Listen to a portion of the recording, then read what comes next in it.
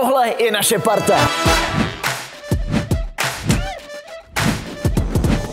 Známe se od základky a výlety, který jsem s těmahle šílencema zažil, bych nevyměnil za nic na světě. Jsme totiž kamarádi v automobilu. Dnešní výlet s kamarády probíhal naprosto hladce, až na dva kritické momenty. Petra začala opět rodit. A bylo jasný, že do porodnice už to nestihneme. Do porodnice už to nestihneme. Tak teďka jsem to říkal. Další průšvih byl, že Robert vdechnul bonbon a začal se dusit. Robert vdechnul bonbon. V tento moment jedu 40 km v hodině. Prudkým zastavením a z toho plynoucí setrvačností bych teoreticky mohl oběma kamarádům pomoct. Jdeme na to, parto! Při čtyřicítce je brzdná dráha o něco delší než délka auta. Doba brždění trvá dvě sekundy.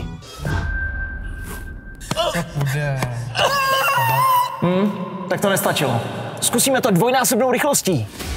Jak si myslíte, že se při dvojnásobné rychlosti prodlouží brzná dráha? Není to dvojnásobně? Špatně!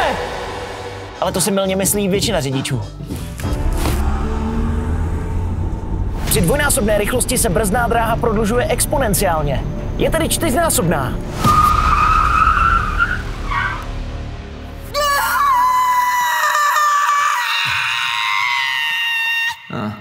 Zase nic. Ale nyní, co kdybych jel trojnásobnou rychlostí? Kolika násobná bude brzná dráha? Devítinásobná? Velice správně, Petro. Chvále. Už to začínají chápat. Jenže málo kdo si to uvědomuje a mývá to katastrofální dopady u nehod. Proto je důležité jezdit přiměřenou rychlostí a dodržovat bezpečný odstup. Alespoň dvě sekundy. A na to existuje pomůcka. 21, 21. Správně, Saby, ale taky halb tacho. Mexičskou kuchyni zrovna moc nemusím. Taky nes. Německy to totiž znamená půl tachometru, takže odstup by měl odpovídat polovině rychlosti, kterou jedu. Například při 100 km v hodině je to 50 metrů. Pravidla pro omezení rychlosti prostě neexistují jen pro srandu králíkům.